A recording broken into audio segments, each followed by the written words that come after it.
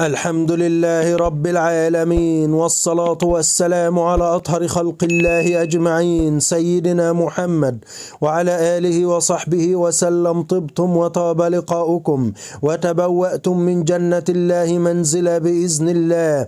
تبارك وتعالى هذا اللقاء عن تفسير رؤية أخذ القلم في المنام. ما تنسوناش بلايك والاشتراك في القناة وتفعيل زر الجرس. وجزاكم الله عز وجل عنا كل خير. خير. رؤية الفتاة العزباء أنها تقوم بأخذ القلم علامة على خطبتها القريبة أو التقاؤها مع رجل هم للغاية خلال تلك الفترة. من رأت في منامها أنها تأخذ القلم علامة على النجاحات التي تحصل في حياتها بشكل كبير خلال هذه الأيام. رؤية أخذ القلم في منام الفتاة العزباء والكتاب علامة على الحصول على الكثير من الأموال والرزق الواسع لها خلال تلك الفترة. والله أعلم.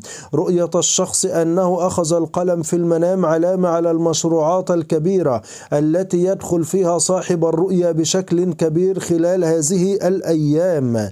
هدية القلم في المنام علامة على الصفات الجيدة للغاية التي توجد في حياة صاحب الرؤيا خلال تلك الفترة. من يرى في حلمه أخذ هدية قلم علامة على عزة النفس والكرامة. القلم هدية في المنام علامة على الصفات وعزة النفس التي يتمتع بها. صاحب الرؤيا بشكل كبير خلال تلك الفترة. رؤية إعطاء القلم هدية في الحلم علامة على الكبرياء التي يتصف بها صاحب الرؤيا بشكل كبير خلال هذه الفترة. أخذ هدية قلم في المنام علامة على الأشياء الجيدة التي تحدث في حياته بشكل كبير خلال هذه الأيام. والله أعلم. سرقة القلم في المنام علامة على الأخبار السيئة التي تأتي لصاحب الرؤيا خلال هذه الفترة.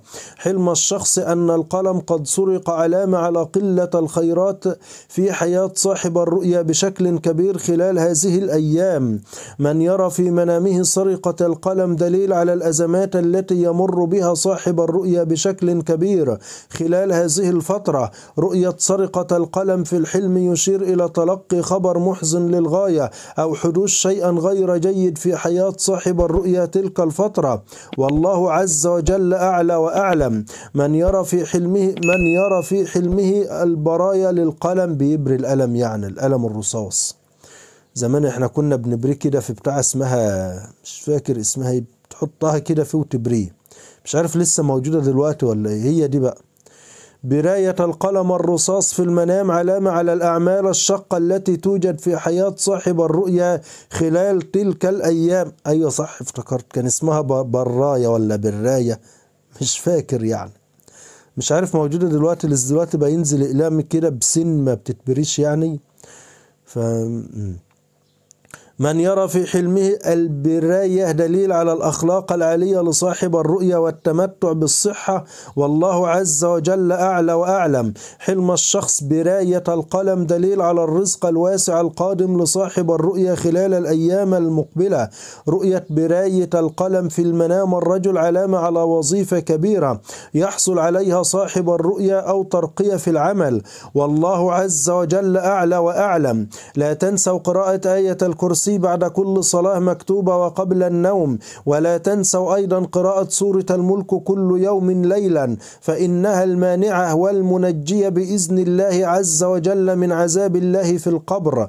ولا تنسوا قراءة كل يوم وردا من كتاب رب العالمين. يكفي أن ختمة القرآن يا إخوانا 3 مليون حسنة والجزء الواحد مئة ألف حسنة الجزء الواحد آه الجزء الواحد قراءته بتساوي بفضل الله مئة ألف حسنة تخيل.